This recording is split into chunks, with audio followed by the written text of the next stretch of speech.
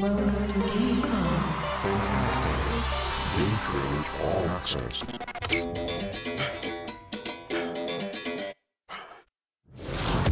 This takes place five years after the events of the last game, so some time has passed. Some events have happened. Uh, there, there's a new antagonist that's kind of came into town. Uh, his name's Handsome Jack. He's kind of in charge of the Hyperion Corporation now, and they they're back kind of with a vengeance, and he's sort of ravaging the landscape. Early into the game, he sort of humiliates you, leaves you to die, and he's sort of the main target throughout this story. When looking at the sequel, we knew that we wanted to bring some new things for people. We know some people may be heartbroken that, oh, I, I love Lilith and I wanted to play as her, but we felt let's use those characters as NPCs this time around. Let's use them to to flesh out the world and, and add a little more depth inside of that. So now you get to see a little more about them and learn a little more about them as as they sort of as you kind of help you throughout this story.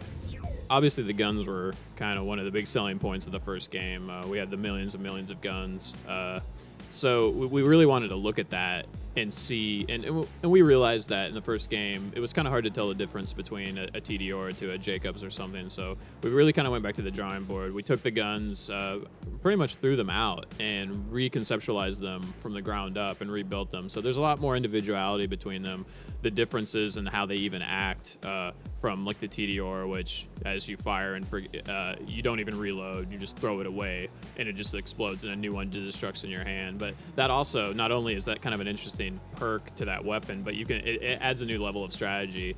The amount of bullets left in your clip when you throw it is the amount of damage that will be dealt to the target if you hit it and it explodes like a grenade. So that's kind of one of the examples of really trying to put a personality, not only visually but from a gameplay perspective, into the guns, and we're doing that on all of them this time. So.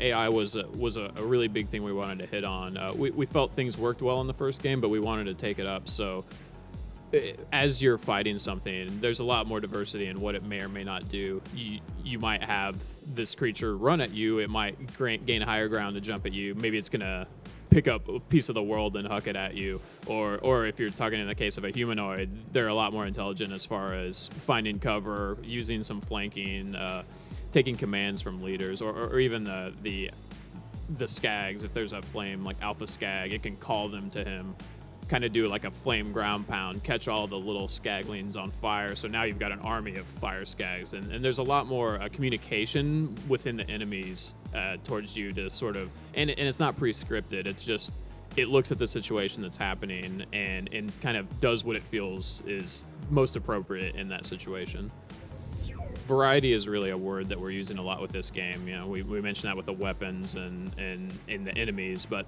inside of the environments, we knew the first game was a little monotone. It, it had a lot of desert vibe in that. We wanted to take you to new places on Pandora. So th- there's still the classic desert landscape at parts in there, but you know, you'll be visiting the, the Arctic, the, the, the tundra, uh, to a greener area, the Scottish Highlands. Um, and th- there's uh, other areas that we're not revealing right now or talking about but that was a really key thing for us because we wanted to make sure as you were progressing through the game there was a constant shift in the environment and the zones that you were in.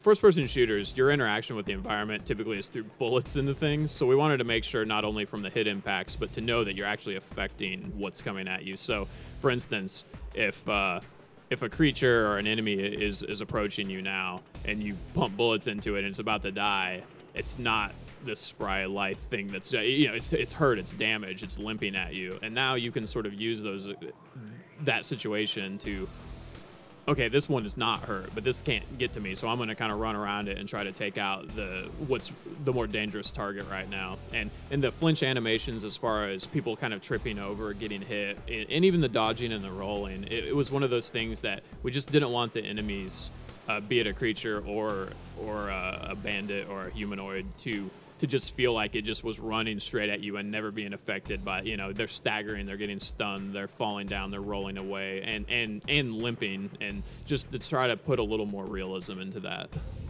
the skill tree is obviously, uh, or skill trees, I should say, uh, are, are, are obvious big part of the game from, from the role playing side of that. Um, each of the character classes has their own uh, action skill, their unique ability. We kind of call it the fun button. When you hit that, you know, something something great happens. Uh, that's kind of one of the reasons you want to play those characters. And, and talking about the Gunzerker, the, the character class that we're showing, Salvador, uh, you know, the ability to dual wield. So that's that's a really important feature when you think about oh this is a game with millions of guns I can and, and, and we're not just letting you like dual wield pistols you can dual wield anything in each of the directions in, in the trees themselves we're, we're really trying to create really interesting ways that you can modify the action skill and the passive skills to create different builds. Uh, th- there's certain things with the Gunzerker, for uh, for example, towards the end of uh, one of his trees, he has the ability to just.